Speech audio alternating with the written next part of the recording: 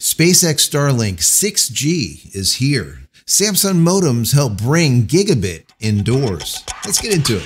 Hey everybody, welcome back to the channel. Thank you so much for once again joining me. I don't have a cup of tea today, but I hope you do. Maybe a cup of coffee as we talk about tech and space, SpaceX, Starlink, AI, Linux, all kinds of good stuff today. Actually, we're going to combine just about all of them in today's episode. So there's a lot going on. We're talking about SpaceX Starlink and 6G and bringing high speed internet into the home, into the building from DTC, direct from a satellite to your phone, which is something that we've been talking about for many, many months now. In the past, I've said this that when it does happen, we're going to see SpaceX Starlink become the fourth largest telco on the planet. And they're going to be doing it without a single cell tower. All of their cell towers will be on orbit, in space, non terrestrial, which is just amazing to me.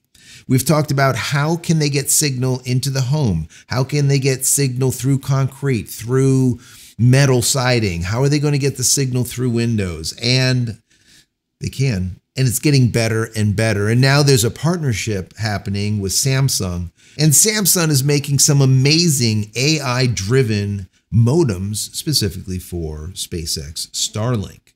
I'm sure Elon is very happy about this. So that's what we're going to get into today. I'm going to go through the articles with you. And then, of course, I'll give you my commentary, what I think about all this. And then finally, I want to hear from you down below. If you don't want to put anything down there, just put an emoji. At least I know that you actually watched the video. That would be nice. I would appreciate that. And if you enjoy the content, throw it a thumbs up. If not, throw it a thumbs down. YouTube likes it either which way. If you have subscribed, thank you. If not, consider doing so. And then click this little notification button here so when I go live when a new video comes out, you will be notified of it immediately. Matter of fact, today is Friday. Tonight at 8:30 p.m. Eastern Standard Time or Eastern Daylight Time, depends on where you are, we will be live for the JC Live show. Join me and possibly my wife. Also, if you have not taken a look at any of my merch, check it out. Go to jcristina.com forward slash shop. Once again, jcristina.com forward slash shop. And if you want to say thank you for all of my hard work, there's a thanks button here. Click on that, give a dollar or two if you like. If not, it's perfectly fine. Consider becoming a member of the channel. That would be even better. And if you want more SpaceX Starlink specific content, I put together a playlist just for you with just under 600 videos. Click here, not now. When you're done watching this video, click right there and you'll be able to check them out. So let's jump right in. SpaceX's 6G Starlink, the next leap in global connectivity. SpaceX is accelerating towards a new frontier with Starlink, combining version 3 class satellites, AI powered Samsung modems, and newly acquired mid band spectrum. We've talked about that mid band spectrum that they just acquired, I think it was EchoStar, for like, I don't know, $17 billion. it's a lot. The aim, deliver gigabit level connectivity outdoors and indoors and position Starlink to compete with the world's largest telecommunication providers. This is what we've talked about for months, guys. It's happening. Just hang in there. Version 3 satellites, gigabit potential from space. Version 3 satellites are designed for tens of terabits per second of total capacity, far exceeding previous Starlink generations. While that doesn't mean every user will see terabit speeds, they never will. Improve spectrum efficiency, AI assisted beam forming, and adaptive routing could provide outdoor line of sight speeds of 100 to 200 megabits per second, even in moderately dense urban areas. Indoor throughput historically limited by concrete and steel structures, is expected to rise significantly thanks to AI driven modems and mid-band spectrum, mitigating the 10 to 20 dB or decibel loss typical in buildings. Whenever you're going through any type of window or some type of shingle or wall, you usually lose about 10 to 20 dB of strength. Keep that in mind, or decibels of strength. Indoor coverage breakthroughs. Building penetration has always been a hurdle. A 10 to 20 dB loss can reduce 100 megabit outdoor signal to 20 megabits or lower. AI enhanced modems dynamically adjust beams and channel allocation to recover much of that lost capacity. Early testing suggests 10 to 30% improvement over version 2 mini satellites in urban apartments and offices, making Starlink a more viable fiber alternative indoors. Very important. This is what we're looking for, guys indoor connectivity. Samsung's collaboration, and 6G ambitions.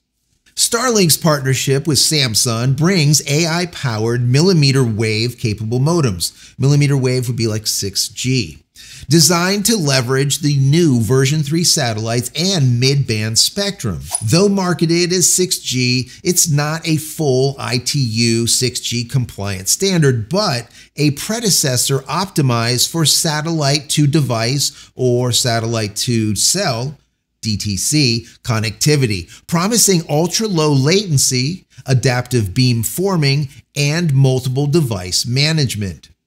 Linux based RAN, and enterprise flexibility. The new modems run on Linux. Of course they do.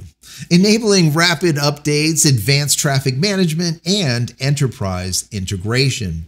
Developers and large organizations can customize routing, prioritize traffic, and integrate with internal networks, opening Starlink to industrial, government, and research applications beyond typical home users. Strategic implications. With AI assisted routing, flexible Linux RAN, if you hear RAN ever, it's an acronym for Radio Access Network. Keep that in mind flexible Linux RAN, and mid band spectrum, Starlink could challenge terrestrial 5G and 6G networks, providing global coverage across 190 countries. If successful, this positions SpaceX as a fourth global telco, delivering indoor and outdoor gigabit connectivity to homes, offices, and rural regions previously underserved the future of direct to cell connectivity. Starlink's 6G initiative is not just a satellite upgrade, it's a strategic convergence of hardware, software, and spectrum that tackles both indoor and outdoor challenges, accelerates enterprise adoption, and could redefine global internet access for millions of users. We're finally moving into DTC where it is a viable option indoors. This is amazing to me because I talked about this probably almost a year ago. And I said, you know, if DTC gets really, really good, these telcos, the big three, you have Verizon, AT&T, and of course you have T-Mobile, just in the US alone, there's going to be a fourth. And that will be SpaceX Starlink. I know people are like, what? What are you talking about, Joe? They can't be. How are they going to do that? How are they going to? Is Elon going to make a phone? Stop already. Okay, with the damn phone. He's not making a phone unless he absolutely has to. I got into that in other videos. Anyways, there's no such thing as a Tesla phone or a Pi phone. All those videos, faceless videos that you see, they are incorrect. They're lies. Anyways, this is really good. Like I said, this was going to happen, and now we're actually seeing it happen. And now they're figuring out how to get signal indoors. Because, as they said in the article, when RF or radio frequency comes into a building and it passes through concrete or steel or even through thick windows, there is a decibel reduction. Decibel is how you will rate um, the amount of RF, right, in decibels, the amount of radio frequency. So we lose about 10 to 20 dB or decibels of strength when it goes through a building. And that is the problem with DTC. Forever, it's always been like with perfect example, Apple. The only way to use Apple's Globalstar just complete junk is you have to go outside you have to like point your it's like wait a second wait wait okay to the left okay you're there hold on hold on we're locked in text you know that's all gone at this point you can actually use whatsapp with your phone, unmodified phone, with SpaceX Starlink connected through currently T Mobile Spectrum and make a phone call with WhatsApp or even a video call. Eh, be it that it's only 240 or 360p, but that's okay. You can still see someone. It look a little Minecrafty, but it still works, right? You can do all this stuff now where you could not do that in the past. And matter of fact, with Apple, you still can't and never will. Apple is going to have to make a decision one way or another. They're going to either go with Elon Musk and SpaceX Starlink, or they're going to have to wait for AST Space Mobile. That's it. They only have two options. And we'll see how long people are willing to wait especially when the brand new Android phones come out there that have this new chipset in it, the Samsung chipset. This is a massive partnership, folks. Massive, absolutely massive.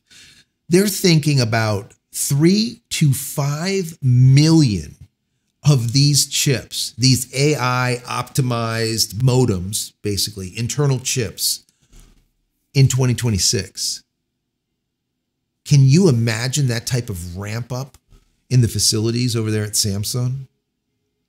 Amazing to me. Amazing. Remember, they have figured out how to get back that 10 or 20 dB loss or 10 to 30% signal loss when things are going through buildings. That is a really, really big deal, guys. A really big deal. And it all has to do with the AI modems that are doing this beam forming and using that mid band spectrum. Remember, they're going to be using Elon Musk's spectrum, the spectrum that he bought from, uh, what was it, EchoStar for like $17.5 billion the other day. So they have a lot going on for them and they are positioning themselves right, guys. I mean, this guy is smart. He is smart. I mean, I said it's going to happen and I ended up being right, which is always nice to be right every once in a while, but I was wrong in the time frame. I said this was going to happen by first or second quarter of next year. It's already happening. People are making voice calls with DTC direct to cell where there is no cell towers nearby directly from a satellite at 330 kilometers overhead, which is just ludicrousy, but it happens. But also making voice and video calls, sending messages, sending video, sending photo, everything. I mean, like I said, I was off by a little bit, by a few quarters. So it happens. Now, the companies like AST Space Mobile and Project Kuiper and OneWeb and all the rest of these people, there's no way for them to catch up. I say this all the time, and the reason being is the cadence, the sheer cadence that SpaceX is putting up those Starlink satellites is just unbelievable. I think it was just today they put up another 28 satellites. So they're up to like, I think it's 8,800 satellites. And of those, there's about 800 of the DTC satellites. The DTC satellites are the ones that communicate to your unmodified phone. And once again, there's 800 of them. But the difference between the regular SpaceX Starlink internet satellites, the 8,800 or whatever, and these 800 is that these 800 have E node Bs built into them and a gNodeB built into them. It depends if it's 4G or 5G. Either which way, you don't need to know about it. Basically, it's a modem built onto the satellite that converts the satellite into a cell tower in space. That's how it works. But the new version 3 satellites are massive, more capacity, like 10 or 15 times the capacity. And when those things have E node Bs on them, things are going to get kind of crazy. And once again, when they're talking about speeds about 100, 150, 200 megabits outdoors, I mean, right now we're seeing about five to eight megabits. Think about that 150. And then, even if they're able to get 20 to 50 megabits indoors, who cares? That's still faster than half the cable companies that we have around us. AT&T and their stupid UVerse and DSL and all the rest of the stuff that they have, right? So, and this would be from space right through your ceiling with nothing near you, and you don't even need a cell tower, which is unbelievable to me. Absolutely unbelievable. You know, This chip that they're making has four or possibly six of these high performance RF processing chips built into them that do all of that adaptive beam forming and error correction, dynamic spectrum allocation, and all of these hot words. That's what this modem from Samsung is doing. That is really going to revolutionize things. And this is a really, really big deal, and people don't see. They don't see it coming. But trust me, when I tell you that these telcos are nervous, and they should be nervous because Elon always does this because he's smart. He's smart. He's like, oh no, they don't need to worry about us. We're not trying to take over one of these telcos or something. We could buy one, Verizon, if we wanted to, but we're not going to do that. We don't need to do that. We just want to sell them our back end, basically. We want to sell them the ability to offer their customers DTC, direct to cell, using our spectrum. No longer T Mobile. Remember that. Okay. T Mobile will be gone soon. Trust me. They're going to be using their own spectrum, once again, that he bought from EchoStar. And that's what he's saying. I just want to wholesale it out. I don't want to deal with. Just stop. Just stop. All right. SpaceX Starlink will be the fourth largest provider, telco out there. And, and they will do it with not a single cell tower, not a single cell tower, besides the ones that are in orbit, which is amazing. So I want to know what say you? What do you think about this? Is this something that interests you? Are you someone that could use the ability to go to the top of a mountain? The middle of the ocean, in the forest somewhere, where there's absolutely no coverage, there's no cell towers, and be able to make a phone call, be able to send video, in case of emergency, be able to call a paramedic, call for help? Is this something that interests you? Because this is what's coming down the pike. And not only is it here now, and they can do it all, just like I was saying, with WhatsApp on here, make SMS messages, MMS messages, do any type of video calling, phone call, whatever. You can do it already, but you'll be able to do it on the next level with very high speeds, like they're talking about. I was reading somewhere that here they were saying about 200 megabits. I was hearing in one of the places that we're doing like some estimations and some calculations because that's what I like. Um, doing the math, they were thinking possibly about 500 megabits they're going to be able to get if you're outside direct to your phone from a tower in space. Now, once again, is this 6G? No, it's just nomenclature. It's not really 6G. It's not ITU certified 6G, but it is the predecessor thereof. All right. And it is massive, guys. It is absolutely massive. Once again, what say you? Down below, I want to hear your thoughts. Is this something you want? Is it something that you have? Is it something that you're going to get in the future? What will you do if Apple doesn't give it to you? Will you possibly move from an Apple phone to a Android phone of some kind? If they do, because I can tell you for sure I would. Because the Apple stuff that they give is complete trash. Even now, Apple knows how poor, how complete crap Siri is. And what is Apple doing? They're pushing their questions that they're receiving from you to ChatGPT. Matter of fact, that's one of the lawsuits that Elon Musk has against Apple. That's going to happen right around March of next year. And my prediction is if Elon Musk does not prevail in that lawsuit, you might actually get your wish and see a Tesla phone. We'll see. See if I'm right. Anyways, guys, once again, down below, throw the video a thumbs up, share the video with your friends, family, colleagues, share the channel with your friends, family, colleagues, Reddit, Facebook, wherever you traverse the web. That'd be very helpful. Many blessings to you and your family. Stay safe, stay healthy, stay connected hopefully through SpaceX Starlink, maybe DTC. And we'll see you in the next one. Love you guys.